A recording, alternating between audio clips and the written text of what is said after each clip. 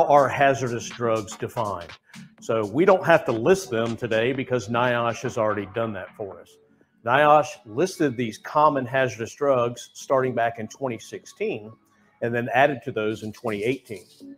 They now have 239 drugs on that list and they've grouped them into tables based on their toxicological endpoint. Example, group one are anti-neoplastics or chemotherapy type drugs, and then group two and three have other types of hazards. Now, NIOSH sat on that for a while, but then they came out with a new list in 2020, and that's still in draft form going through the comment period. They took some drugs off, they added some drugs, and they regrouped them into essentially two tables one for anti neoplastics, two for everything else in their, their different types of, of hazardous impacts uh, through occupational exposure. Now, that's what the list comes from NIOSH. But really, your facility should create this list based on the NIOSH list, and you really should use um, a hierarchy of controls and an assessment of risk to determine how are you going to best handle those hazardous drugs to reduce the risk of occupational exposure. Also new from the chapter, it specifically addresses eyeglasses you know, there have been studies done that show people how many, how often people touch their eyeglasses throughout the day, either just sort of adjusting them on the bridge of the nose or, you know, pulling them off.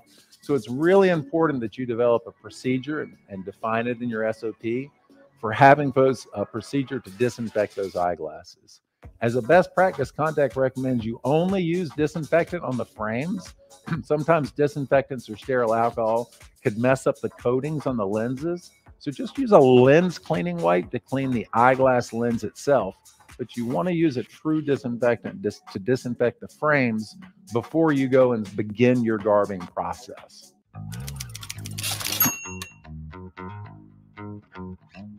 Now, another class of compounds that are not on the NIOSH list is beta lactam antibiotics.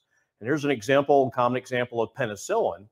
So this particular uh, class of drugs is, is not on the list, but it does have a potential for harm from exposure.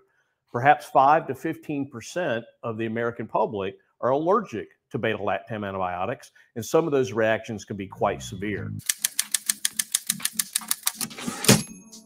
So Patricia asked me, what garb must be sterile versus non-sterile? That's a great question.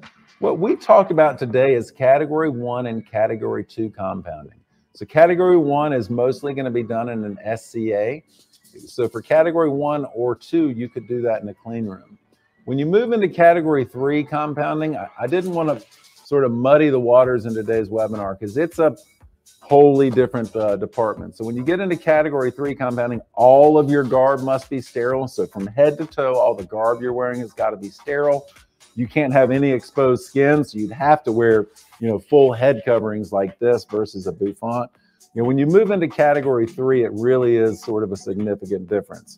So that's really where sterile garb comes into play.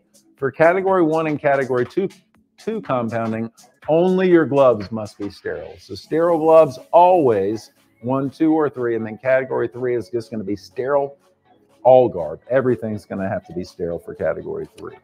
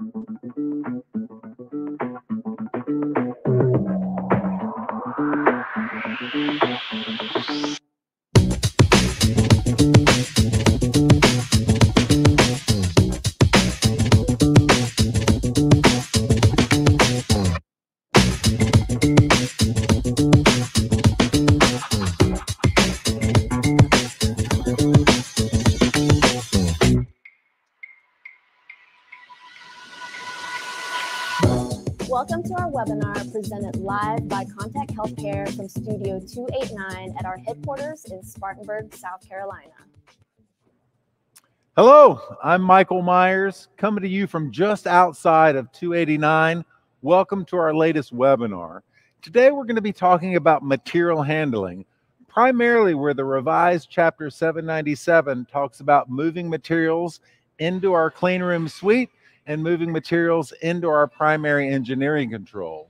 But I wanted to start just outside of our studio here today in our loading dock, in our warehouse, because that's where every box is going to arrive at a facility. It's going to arrive way downstairs, away from the pharmacy, and you really want to leave that cardboard there. You don't want to transfer cardboard up to your pharmacy. So, as a best practice, you're going to want to transfer the product out of the cardboard into a tote, plastic tote like this that you could move up to the pharmacy. Later in our webinar today, Contec's Chief Microbiologist Dr. Mark Weinsick will be talking specifically about sort of the dangers of corrugated cardboard and some of the, the gross things that could hop along during that shipment and uh, unfortunately could arrive in your pharmacy. So we're going to transfer the product out of this cardboard box. I'm going to place it inside of our plastic tote. And then we're going to go in the studio into our clean room and we'll talk about transferring materials into and out of uh, our engineering controls. So let's go to the pharmacy.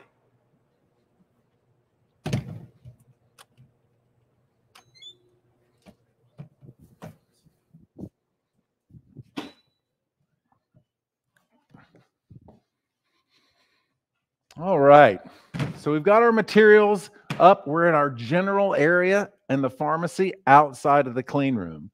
And let's talk specifically about what the chapter says about moving materials into a clean room.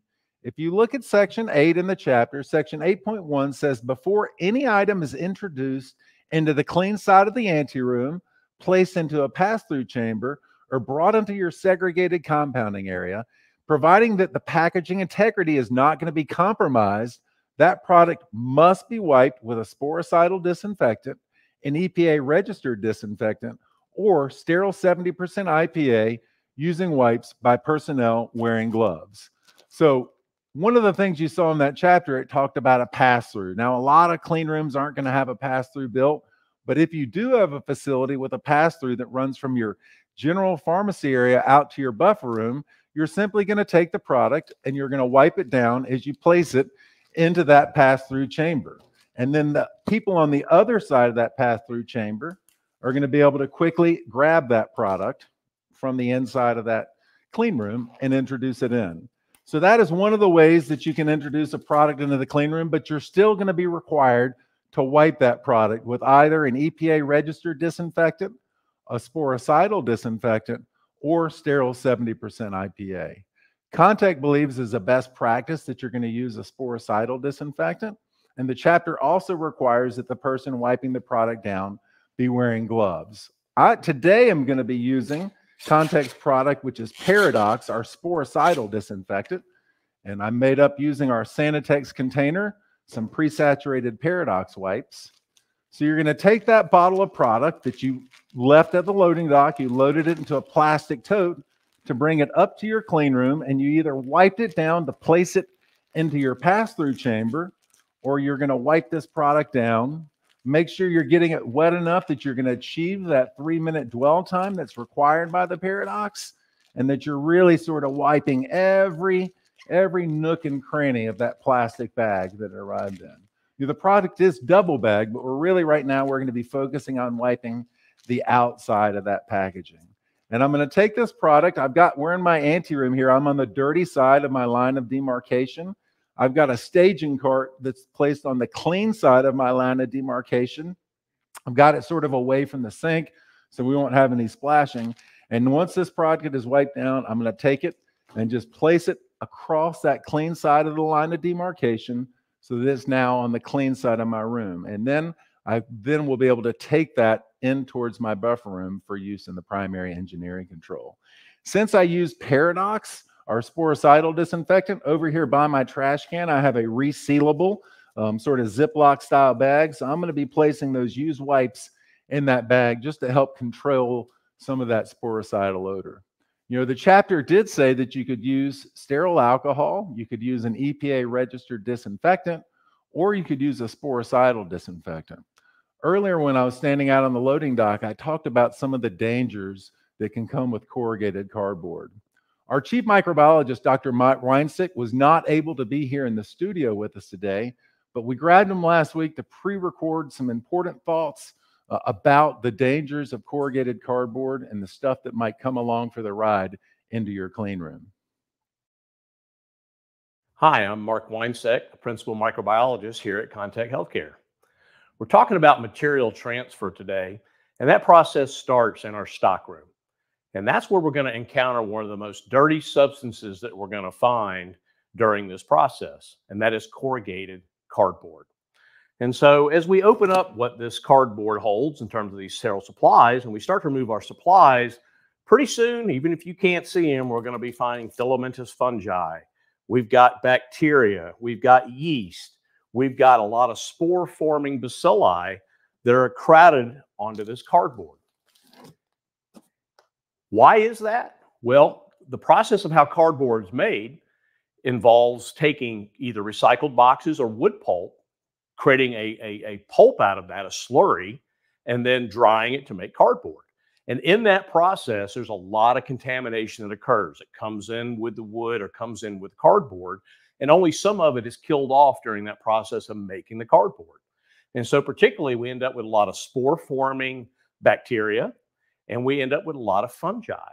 Why fungi? Because it turns out fungi can actually use cellulose in the cardboard as a food source. So we're going to have high levels of contamination on the cardboard. We know we're not going to bring that into the clean room. But as we move sterile supplies like these IV bags, we're going to have to somehow disinfect the surface of these as we move them into classified spaces. So how do we go about doing that? Well, USP 797, the new chapter coming out in November, talks about an option of using a sporicidal disinfectant, a daily disinfectant, or IPA. And while IPA might seem like the simplest and, and best option, something readily available, normal IPA or any IPA is not going to kill bacterial spores and fungi, no matter how long you leave it wet on the surface. And so while maybe a daily disinfectant would be achieve some of those goals, you really need a sporicidal disinfectant. Leave it on for three minutes if it's Peridox, and that will kill bacterial spores and fungal spores and all the other microorganisms that might be associated with that cardboard that's now transferred to my supplies. Interesting enough, for our Canadian uh, visitors today, they know that NAPRA, which is kind of the USP version in Canada, um, that that standard actually requires you to use a sporicidal disinfectant to wipe down these supplies. Again, USP gives the option but when you look at what kind of contamination is on this cardboard and how high it might be, even on these kind of plastics that are coming into our, our clean room, we really recommend that you use a sporicidal disinfectant. So I hope that helps understand a little bit about why it's so critical to do this material transfer step and start off with a powerful disinfectant so we don't bring those microbes even into our, uh, our, our less controlled spaces. Thank you. Thank you, Mark, for helping us understand why Contec really suggests using that sporicidal disinfectant for wiping down items across the line of demarcation. Um, the chapter also has some specific requirements for placing items into our primary engineering control. So let's just start with taking a, a look at that language. It comes from section 8.2 uh, of the chapter, and it says just before any item is introduced to the primary engineering control, it must be wiped with sterile 70% IPA using sterile low lint wipers and allowed to dry before use. But there's also one more caveat in the language, and there it gives a little bit of additional context. It says that when sterile items are received in sealed containers designed to keep them sterile until opening, these sterile items may be removed from the covering as the supplies are introduced into the class 5 PEC without the need to wipe individual sterile supplies with sterile 70% IPA. So essentially, just to recap, the chapter says coming into my PEC, it must be wiped with sterile 70% IPA. Coming into the clean room, I had the option of using sterile IPA, a registered disinfectant, or my sporicide. But inside of our PEC, our primary engineering control, it must be 70% sterile IPA unless your manufacturer has designed packaging that allows the, the inner package to remain sterile as it's introduced into the primary engineering control.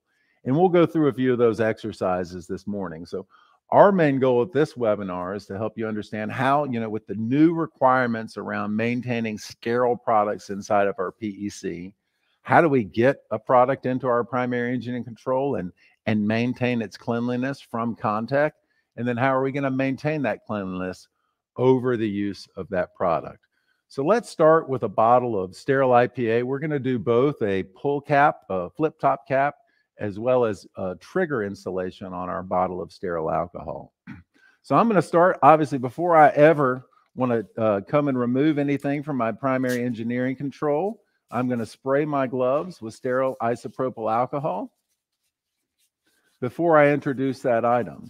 Now, I want us to sort of take a look at this packaging. It's it's double bagged. Hopefully, you can sort of see that on the camera.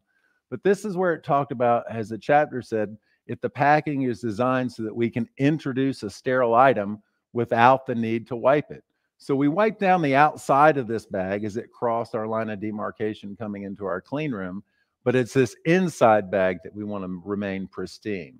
So with Contec sterile alcohol, the actual outside bag kind of tears relatively easily. And then I can just sort of deposit that inside sterile packaging directly onto the surface of my engineering control. And then I will take this item, I will set it out to the side. It will be discarded in our trash. I'm now able to go, I'm going to take this bag and break it open. I want to keep this flip top lid that's in the packaging. I'm going to leave this sort of in this bag down here so that that lid will not touch the surface of my primary engineering control, but I'll be able to access it here in just a moment. So with our flip top alcohol, you'll remove this yellow lid that was on, on top of the bottle during the shipping process. And with our flip top sterile alcohol, Contec has provided this foil top lift tab that you're very easily sort of with your fingers able to go and sort of quickly remove that tab and place it to the side for disposal. I can now take my flip top lid and screw that on top of my bottle of alcohol. And it will be there for available for use inside of my clean room. This product I've now opened in ISO 5 conditions we think as a best practice, you should open all of your alcohol bottles and all of your disinfectants in this ISO 5 air condition as a best practice to sort of maintain that cleanliness. And then now that I've opened the bottle and installed the flip top, or in just a moment we'll install a trigger, I could take this bottle and use it somewhere else in my ante room or my buffer room. If I ever remove it from my primary engineering control, I want to insist that the flip top lid is properly sealed. So I'm protecting the ingredients, the, the alcohol that's in that bottle from an outside environment, and I can remove it from my primary engineering control. But before I could ever bring that back into the primary engineering control, I'd want to take sort of a pre-saturated alcohol wipe that I could use to wipe down the outside of that bottle before reintroducing it into my PEC.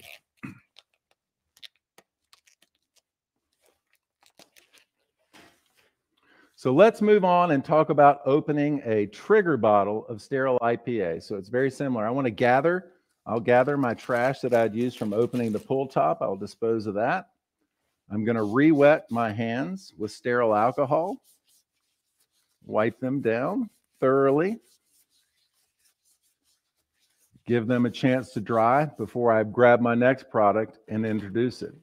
Again, so this outside packaging, we wipe this packaging when we introduce the, the product across the line of demarcation into our clean room. And we're trying to protect the integrity of that inside package so that I can introduce it directly into my primary engineering control without that additional alcohol wipe down step. So I'm going to sort of tear open that package and I'm going to deposit that inner sterile package with the trigger onto the surface of my primary engineering control. Now I'm going to open this inside bag. I want to make sure that I leave the trigger inside of this bag so that it does not touch the deck of my primary engineering control. Place the bottle on the deck of my PEC and I'll remove this lid. Now, I generally like to, to spray my hands with alcohol one more time before I install that trigger, just as sort of an extra precautionary step because you do sort of have to make contact with the top of that that trigger straw in it in order to get enough force to pierce down into the package. So I'm holding sort of from the top of the straw. Woo, and of course that would happen live when we're on webinar. And I'm able to pierce through the foil. I will bring that down and screw the cap onto the top of the bottle. So this could be a bottle that I'm going to be using inside of my non-hazardous primary engineering control. Obviously, if you're doing hazardous compounding, you're going to have to use that flip top enclosure. Or now that I've installed the trigger inside of my ISO 5 engineering controls, I could then remove this bottle out and use it in my ante room or my buffer room. So we've talked about opening both our flip top alcohol as well as our sterile alcohol. But I want to talk about Contec's disinfectants, both our sterile Peridox and our sterile TB1 3300. The new chapter requires that any disinfectants that I use in the primary engineering control be sterile. So we want to have good aseptic technique and a good process and protocol as we get into the tops of these bottles. So we'll run through that. Again, before I place any item into my primary engineering control, I want to make sure that I've wiped my hands with sterile alcohol. Now, with our disinfectants, they still are double bagged, but it's a much thicker bag. It's a little bit difficult to tear that plastic, but these have linear tears. So at the bottom of this pouch, it's actually quite easy to sort of tear that pouch, and then you're able to quickly deposit that bottle directly onto the surface of your primary engineering control. The same thing at the bottom of this pouch, there's a linear tear that I'm able to tear this pouch open. But I want to be careful as I'm depositing this uh, bottle onto the deck of the primary engineering control, not to let that bottle cap just spill out directly onto the surface of my PEC. So what I'm going to do now is I'm going to take the lid off and I want to talk about this foil enclosure that's on the top of the Peridox bottle. This is to ensure, obviously, that there's no spillage during shipment, um, but the way that is induction sealed on there, we don't have that little pull tab like we do on the flip top bottle of alcohol. We've got our engineering team working on that. So hopefully in the future, we'll be able to have a very simple to use pull tab on top of that uh, foil bottle seal. But right now, that foil bottle seal is difficult to, to get into. And so we wanted to come up with a way that you could help maintain sort of the cleanliness of this product, have good aseptic technique for entering it. One suggestion that I'm going to give are these sterile lancets. These are available. They're they're less than a nickel a piece. And these are used for sort of doing that that finger prick if they're going to do a blood test. So I'm able to sort of tear this sterile lancet and remove this tool. I can then use it to sort of cut and make sure the camera can see pierce that foil and almost draw an X on top of that foil packaging. And that's going to help ensure that the liquid will go out. If you are going to use something like this sterile lancet to pierce that, make sure you have a sharps container or something so that you may safely dispose of those items uh, and no one gets injured. So once I've done that, I can now go back in and get my sterile flip top cap and screw that on top of my bottle of Peridox. That allows me to flip the product open. I could use this for doing my sporicidal disinfection in my primary engineering control or hazardous drug decontamination in my CPEC. But you don't want to leave this product stored in your PEC all day long. You're going to use it for that initial cleaning step or your decontamination step. But as long as you've opened it in that ISO 5 condition, you want to make sure you securely flip that lid back down in ISO 5 conditions. And then you can remove that bottle for storage in your buffer room and bring it back into your PEC when it's needed. Make sure before you reintroduce anything into our primary engineering control that we are properly wiping it down with sterile isopropyl alcohol before we place it inside of our primary engineering control. So I'm going to gather up some of the trash from that last. Spray my hands with sterile alcohol. So we've talked about introducing items into our SEC. You know, we're getting them from our loading dock up to the clean room. Best practice using that cardboard tote. We talked about bringing items across our line of demarcation into our clean room. Why using a sporicide is best practice. And we've gone through our three most popular Contec products, our sterile alcohol and flip top and trigger format, as well as our Peridox sporicidal disinfection on how we want to introduce those items into our PEC Again, because of the way that is double packaged, we can sort of open that outer bag and present that product into our PEC. But the last section of section eight with material handling has to do with critical site wipes. And there is some language that says critical site wipes, ampule necks, and intravenous bag septums must be wiped with sterile 70% IPA in the PEC to provide chemical and mechanical actions to remove contaminants. So we've got a, a pack of our crit critical site wipes here. You know, oftentimes I've seen the individual alcohol prep pads used. Those wipes, those prep pads were designed for, for skin asepsis. Before I get a shot, they're going to wipe my arm. The material, the fabric that's in those wipes is just not appropriate for an ISO 5 environment.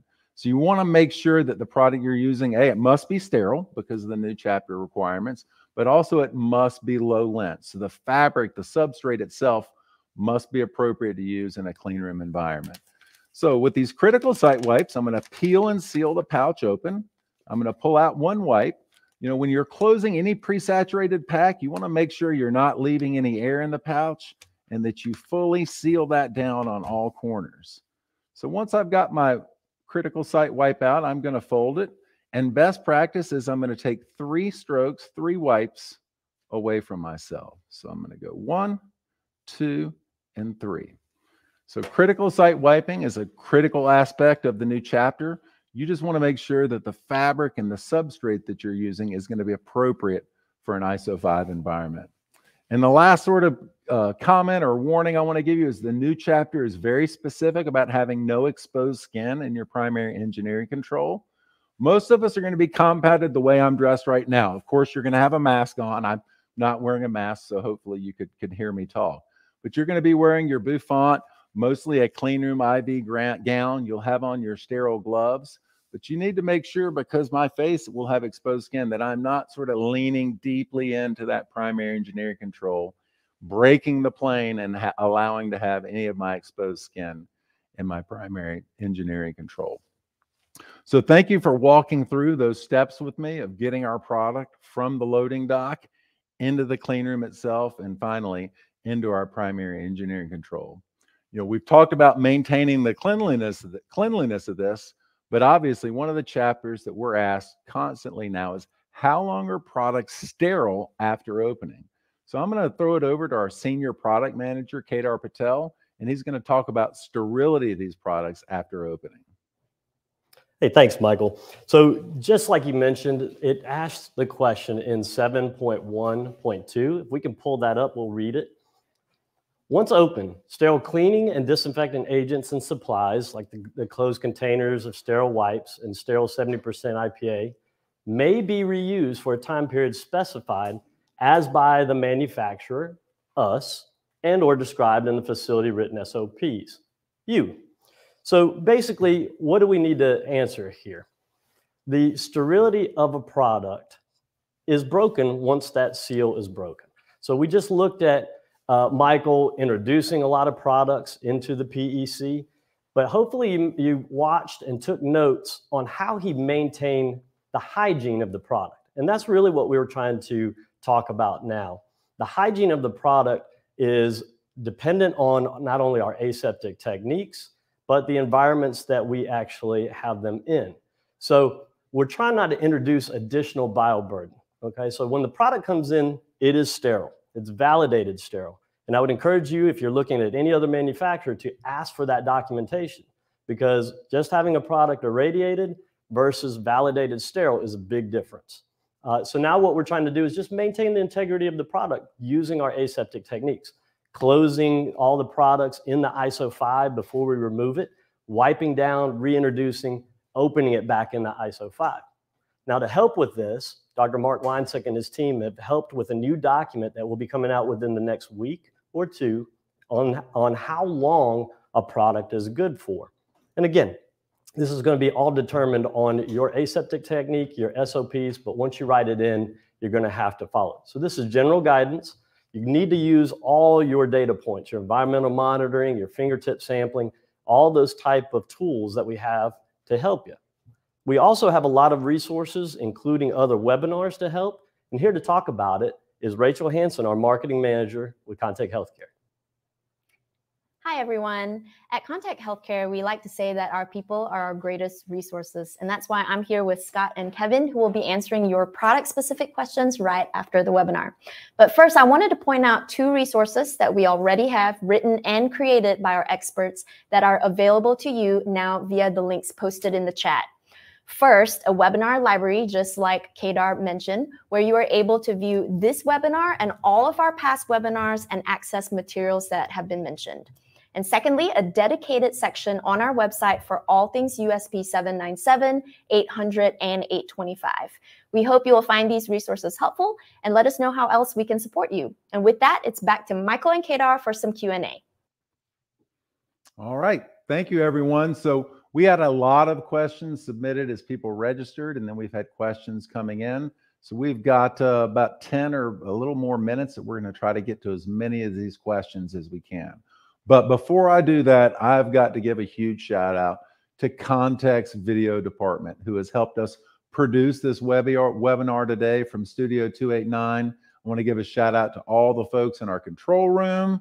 Thank you, Daniel. Thank you, Chris. We've got Ryan on cameras. We transferred, know if you guys noticed, we transferred this set over. We started as an ante room, and before we end, and we've got our, our experts over on the other side of the set. So I want to thank our crew for making us look look so great. And with that, let's jump into some of the questions. So let's go. We'll start with some of the pre-submitted questions. And I think I will take this first one. They asked, can you use a germicidal canister wipe on a daily basis to wipe down all incoming materials to the sterile compounding clean room? Well, yes, you can. So as we talked about, the chapter allows you to either use sterile isopropyl alcohol, you're going to use your sterile uh, EPA or EPA registered disinfectant, or a sporicidal disinfectant. We believe, and as Dr. Mines, Dr. Weinsick explained earlier, that using that sporicide to help eliminate any of that risk from corrugated cardboard would be your best practice um, for that scenario. Kedar, why don't you take this one? Well, they wanted to ask about some of the mitigation strategies when using sporicides that have strong or offensive odors. Oh, that's, I mean, that's a good one. Uh, a lot of our Contec healthcare sales representatives can come in and actually show you some of these mitigation strategies, but less is more when you have a fast contact time of a sporicidal in three minutes. So less is always more. Uh, I know that you used some of the containment techniques earlier, Michael, with the zip locking feature bags. Uh, once they're spent wipers, all these things can make a huge difference when it comes to the experience of an employee. It's a great question, but I would encourage you to contact your local Contec healthcare sales representative and let them come in and show you some of these techniques. And I think just sort of the obvious hanger in that question, sporicides are always going to have an odor. If you're going to kill spores, it's either going to be a probably a strong bleach smell or, or a vinegar smell. And bleach, you know, we're all sort of familiar with, with the, the downsides of a bleach product. So, Kedar, while we've got your smiling face on camera, next question is preempt available sterile? Unfortunately, that chemistry of being 0.5% hydrogen peroxide is not available sterile. Uh, it can't be filled with the aseptic technique. But the good thing is we do have the TB1 that is available sterile. Uh, so I do want to actually mention something too. Knowing that we're going to have to go sterile in the primary engineering controls in the ISO 5 space, we really need to understand what our non-sterile products are going to transition to sterile. We want to go ahead and start procuring those types of products because sterile capacity can be an issue if we wait to the last minute. So while we have time, let's go ahead and build that stock because we know we're going to need this. So I would encourage you to work again with your Contec Healthcare sales representative just to see what non-sterile products you're using within the primary engineering control. That way we can help you plan for the sterile aspects of those. Yeah, the, the countdown is on. November 1st is going to be here. We're just going to blink and November the 1st will be here. So get your sort of get your planning in, in motion now. You've got a, a, a bunch of them coming in now, Kedar. Mm-hmm. Is Peridox hazardous to humans and the environment? And if so, what, what is the exposure risk to Peridox and how long should uh, prolonged exposure be endured? Well, this is this is another uh, great question, but I'm going to kind of correct it a little bit. Peridox is not necessarily hazardous if we use it correctly. What we're trying to do with Peridox is reduce the hazards associated with working in these environments, whether it be microbial growth or with even a decon agent when we're working in USP 100 type materials.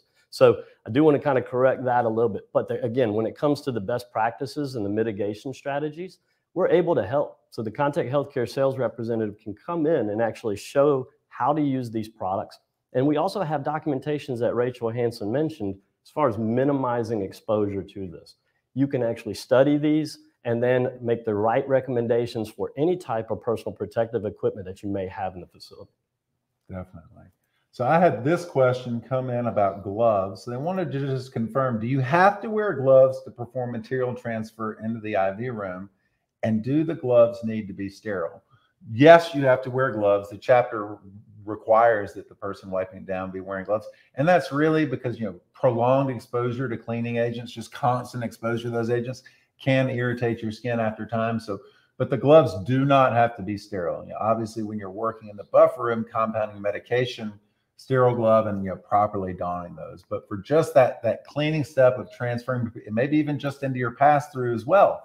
You're standing outside in a general clean a pharmacy area, mm-hmm. but you still need to be wearing gloves as you're wiping those items down to place into a pass through, or certainly in your on the dirty side of your uh, line of demarcation, putting them into the into the clean room. And I, I, would add one more thing to that too, Michael. Those gloves could be potentially different, right? You might have more of a chemical resistant glove in some instances where you need the sterility and the dexterity working with your, your pharmaceuticals. So it's important to make sure that you're matching it up correctly.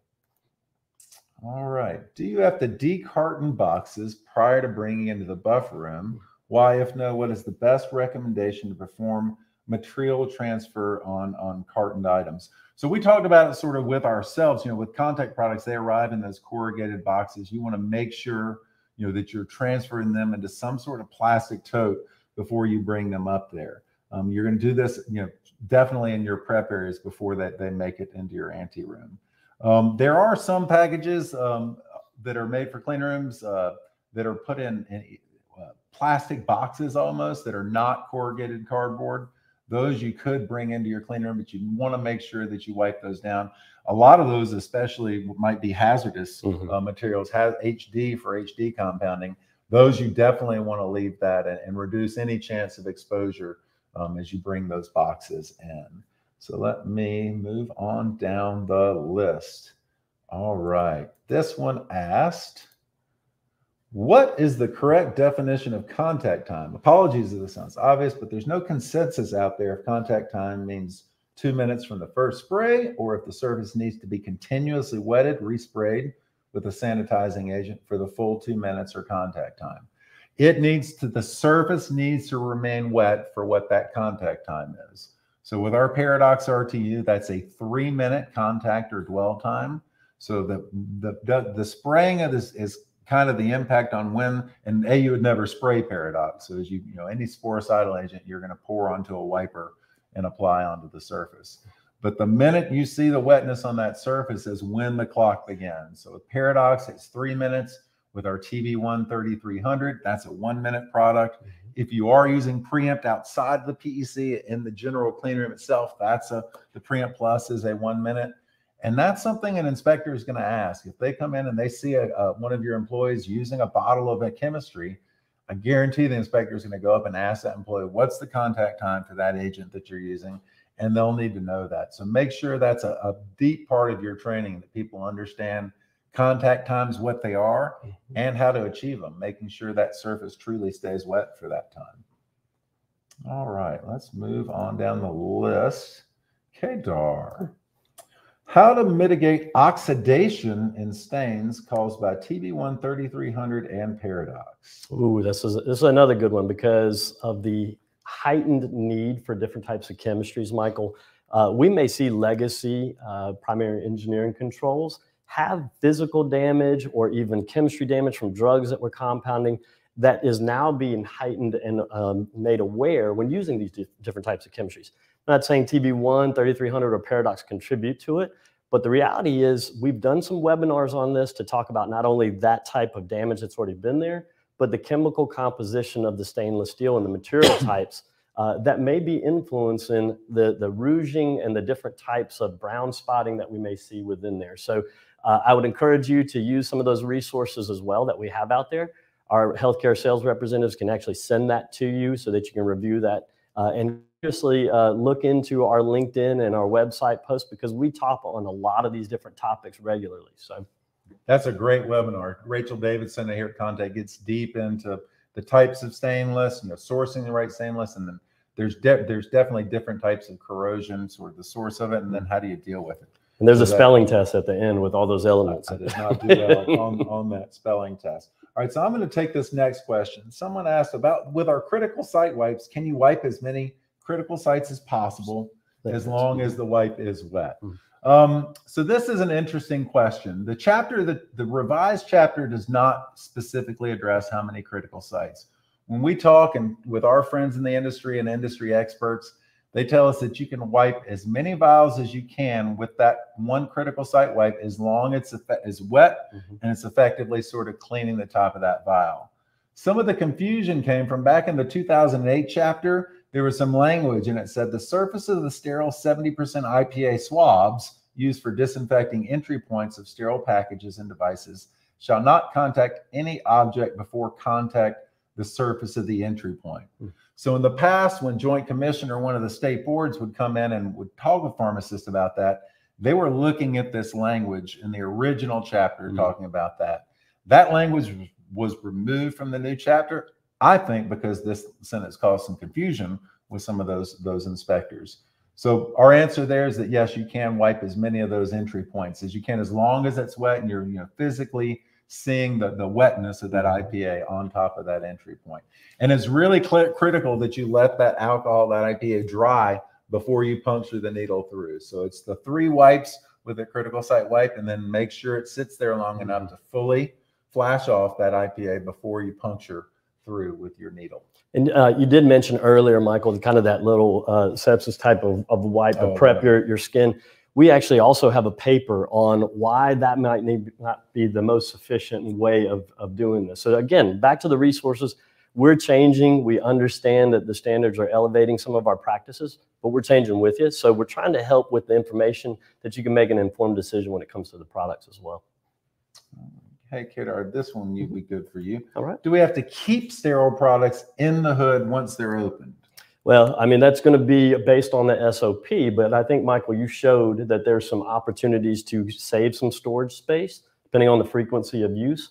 I would try to encourage you to look at your consumable usage as well, because if you can match that up with maybe a daily occurrence or maybe every two days, you're going to be able to turn that sterile product a little bit more regularly, depending on the put ups that you may consider. So, again, the, the, I sound like a broken record, but we are truly a resource here. We understand there's budget considerations. We understand there's space considerations. So we really want to try to help you with the right product choice to, to mitigate any of those type of challenges. Excellent. We've got some minutes here, so let's just blast through as many of these questions as we can. Sure. Kedar, um, this person wants to clarify cleaning product rotation. So rotation of disinfectants that that's not doesn't really apply to their word was hospital clean rooms. Well, uh, there is a rotation need, okay, but the way it was defined in the past was within the daily type of disinfectants. And, and that's just not the case anymore. Before, there might have been different pH levels that killed different types of bacteria and viruses, but now there's broad spectrum. It can actually kill a lot of the same organisms with just one solution. The rotation is actually between what you mentioned earlier, and that's your sporicidal product, that you're going to use on a le- uh, least frequent basis versus your daily disinfectant. depending on what category you're compounding. So there is a need for rotation. It's just redefined, uh, and the industry just needs to understand it's between your daily and your sporicidal activity. Yeah, that's how we define it. And that's your frequency is going to be defined by your cat compounding. That's so if you're doing category one and two, you've got to do that sporicide at least monthly. If you're doing category three, it must be at least weekly, along with all the other sort of category three. Category three stuff. All right, let us move on. Kedar, we just answered that one. So this next one will be for me. Um, he would like some insight on the controversial opinions of cleaning the HEPA filter covers in the LAFW BSC, yes, no, or periodically. I did not realize that was a controversial opinion. I don't know. Can the Daniel is the camera in the PEC still on? This is on. This is on the fly. I'm asking Daniel to cut it. So you're not really able to see it from this angle, but th- this back wall, this screen, I do need to clean this on a daily basis. What I don't want to do is spray or pour any chemistry directly at that screen because it could damage the HEPA filter that's behind it. But I certainly want to do either using my easy reach tool, because again, I don't want to break the plane with my face. So sometimes it's hard to reach sort of that back screen. So that's where one of our easy reach tools might come into play. But that back screen definitely needs to be cleaned. Wipe your wipe or wipe your applicator before you go by. And that needs to be a definite part of, of your daily screening. But just make sure you never, like with a trigger alcohol bottle, you never spray it directly at that screen because then you actually could do some some damage to your HEPA filter. Oh, sorry, Mike. I was just changing all the for you to answer. all the stuff. Sorry. and uh, this next one is going to be for me too. Products such as tubing sets for automated comment package and single fully plastic paper-like material bag. Can't these be peeled in place from the edge of the PEC, meaning it won't require an additional wipe down once the items introduce the ISO 7 buffer area? Yeah, that's a great question. That's what we talked about, and we showed that additional language from Section 8 that talked about if the manufacturer provides materials in a way that you can sort of peel and present. And I showed you a way you could do that with our alcohol or our disinfectant bottles, but also a lot of times syringes or these other package, they'll be they'll be provided to you in that sort of presentation sterile packaging that you're able to sort of present it across that plane and deposit it into your ISO 5 environment without that additional need for that wipe down step. All right, so we do have, we've got a couple more minutes. So we had a couple of questions that came in that really aren't in our expert world of expertise, but I did reach out to one of our industry friends and wanted to sort of get their opinion on that. So um, this came down to, uh, again, bring in items in non-corrugated cardboard. So this would sort of be like the, those plastic style boxes. These need to be wiped down in the IV room or do they need to be open and each file wiped down individually? So I talked with a few of our expert friends, and they basically agreed their biggest concern was around hazardous drugs. That that mm-hmm. those are the packages that you do not want to open and try to handle those individual components. You imagine a small box with six vials. If one of those was damaged in shipment, all the five remaining of those vials are going to be contaminated. So mm-hmm. those boxes you want to get sealed. But other than that, they do recommend that it's best remove products from their boxes, wiping down individually as patient preps or batches are pulled and staged for entry into the clean room. If you're talking about source containers for PM, then it's best to stock a cart with fast movers and stock enough for two to three days. As such, each vial would be wiped. If the scenario does not include these, then please keep in mind the buffer room is not a storage area and whatever is brought in should be kept into a minimum. You know, anything that's brought and stored in that buffer room is going to be you're going to have to clean it during that mm-hmm. during that that monthly cleaning. All right, so let's see. There was one more that I had reached out. I thought this one was a pretty good one. They asked, "Do trash bags need to be wiped before they're put in containers?" We change our buffer room trash bags by dragging them into the ante room first. You know, they're full bags as they're removing them, but we're not wiping the actual bags down. So you know you really don't need to wipe the trash bag down. They're going to be stored on a roll sort of inside of themselves. Um, but really, if you've got large trash cans, it's best practice to have those on casters so that you can sort of roll that into the room without dragging uh, stuff across the floor. You know, anything that's down on the floor is going to be obviously considered dirty, and you don't want to sort of transfer the the dirtiest part of that room in, Mhm. into another room like that. Let us scroll down. All right, we did have some new questions and we've got about two minutes. So let me look over these real quick. How long is sterile open? You answered that. Can we throw Peridox in the regular trash? Why or why not? Kedar, do you want to answer that one? Well, it depends on what you're actually cleaning or what the task is as well. Once it's a spent wiper, you can, but if it's picking up like for a decon agent, then we'd encourage you to go down the proper waste stream that way. They asked closed caption version. This will be made available on demand. We absolutely will make that on demand. And there are, looks like there are about, ooh, a lot of questions came in. So we're going to have to do some follow up after the webinar. If you asked a question, be assured uh, that we're going to get back to you with that answer. I want to thank you sort of for our portion walking through this here today. And we're going to be throwing it back to Rachel, uh, Scott Harward, and Kevin Venezia for a wrap and talking about some all these products that we've used today. They're going to be answer answer the specific product questions that came in, as well as uh, uh, address how you may have someone come to your facility and do some technical training with your staff. So thank you. Thank you, Michael. Hey, everyone. I'm Rachel Hanson, the marketing manager for Contec Healthcare, and I'm here with Scott Harward and Kevin Venezia. Gentlemen, would you like to tell us a little bit about what you do at Contec Healthcare? Yeah, so I'm the regional business business manager for North America East, basically everything from the Mississippi River uh, east, uh, also Minnesota a little bit of Texas and Louisiana. And I've got a team of nine reps uh, spread out throughout the country. And I've been with Contec for about 10 years. And I'm a, a regional business manager for the West Coast, uh, North America. And I have a team of eight people. And uh, we're out there to help assist our, our customers with uh, all your needs when it comes to cleaning, disinfecting, and garbing. All right, thanks, guys. So, welcome to Dwell Time, our post-webinar show where we get into the nitty-gritty, nitty-gritty details of all the things presented during our webinar. So, um, first, we are going to answer some product-specific questions that uh, came up in uh, Michael's webinar.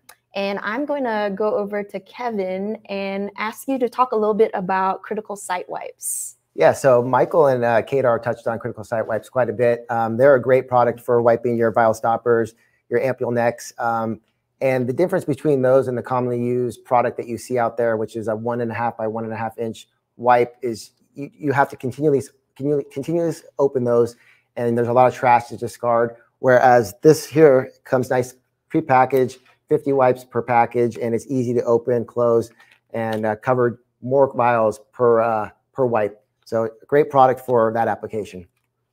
And Michael, I think Michael or Kedar mentioned something about, you know, critical site wipes versus alcohol or sterile alcohol pads. So what's your take on all that?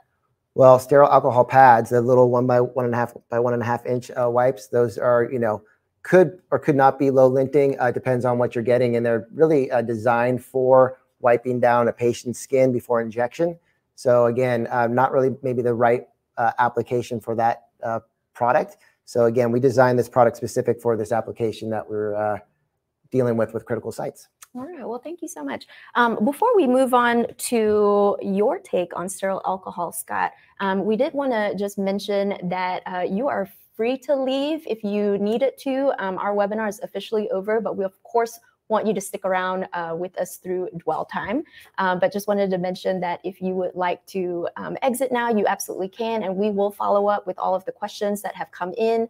Um, and we will have the recording of this webinar available to you as well. So um, with that, Scott, mm-hmm. so um, critical site wipes, they are pre-saturated with sterile alcohol. Um, mm-hmm. What makes ours unique? So for those that think that all sterile alcohol is is created equal. Um, I have a little bit of a, a, a problem with because it all, it, it all goes back to where is that product produced, right? Where is it made? And with that, we have the complete traceability and control over that process. So every single uh, bottle um, that's uh, used in the States and in, and in Canada uh, is, is assembled here um, and packaged appropriately, and then it goes off to irradiation. So uh, traceability and control of the process is extremely important. And each lot is going to come with its own certificate of sterility as well. So you know, if you ask that for some other products that are maybe uh, uh, produced or made overseas, you might not get that level of detail. I gotcha. That's great. Great information. All right. So, with USP 797 new standards, what are some of the biggest changes in um, cleaning and disinfecting? hmm Well, if you've seen any of our, our past webinars or, or uh, listen to what Michael said earlier, uh, the biggest change is sterile versus non-sterile, right? So the, the requirement, uh, the, the verbiage must inside the ISO 5 PEC, CPEC, and then should in the ISO 7 and 8 environments. So I think that's the biggest change. Yeah. And Kevin, what's your take on maybe products for um, these changes that Scott mentioned? Yeah, so one of the commonly used products that, that's been used in the uh, PEC for a long time is our Preempt or Preempt Plus. Again, that was mentioned, that's not going to be able to be sterilized anymore. So TB1 3300 is our new uh, daily germicidal disinfectant, comes sterile, and it is a one minute dwell time across all microorganisms. So it's a great product, fast acting, and a, gr- a lot of kill power. That's great. And then, And then, and then for your uh, weekly sporicidal, you have Sterile Peridox, and I think everybody's pretty familiar with that product, and it's a three-minute dwell time. Uh, so great for your best practice weekly cleaning within your PEC, and then also for decontaminating your CPECs. gotcha. So that's our one-two punch for uh, our daily and uh, weekly sporicidals. One two punch. I like it. Um, all right. So moving on to some of the questions that came in. Here's a question for you, Scott. Um, what disinfectants are available in sterile packaging other than Peridox? Well, Kevin just mentioned uh, a couple of those. So TB1 is, is available sterile and non-sterile. And Kevin actually has There we go. a nice bag of that. So um, each bottle will have a silver border. This is actually the non-sterile version. Thank you, Kevin, for setting me up with that.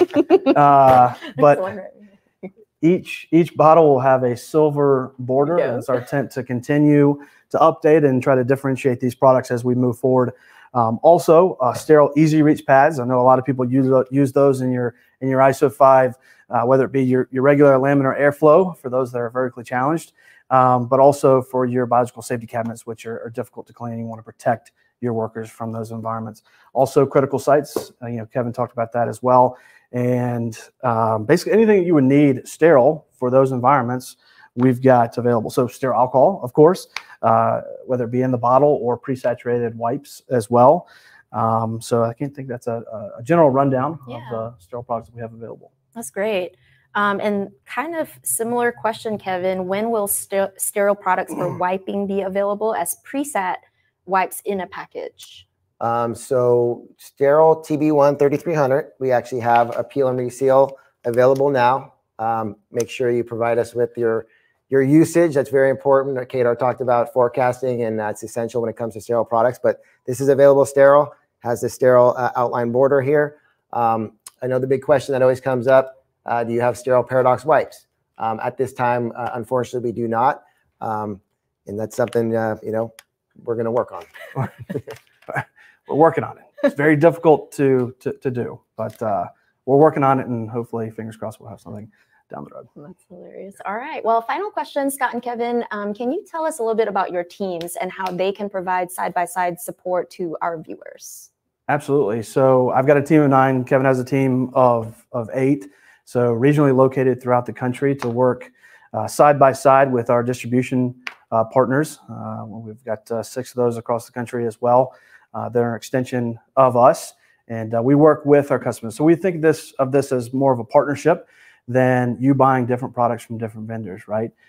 When you work with Contec, you know that you're going to be taken care of and uh, we're going to co-author the right solution based on your environment, your workflow, and um, and uh, your team. So That's awesome. And Kevin, what about you? Yeah, pretty much what Scott said there. You know, we have a lot of value-add resources available to you uh, to, to offer. Um, a lot of those documents that Kedar talked about earlier, our technical bulletins, um, you know, our webinars like this, um, our uh, USP experience on our website is a great resource to go to.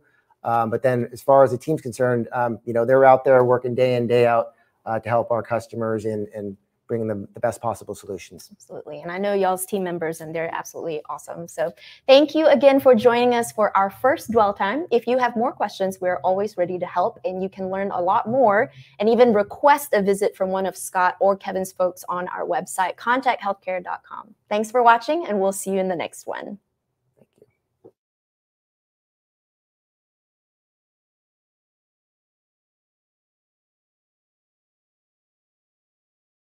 Full head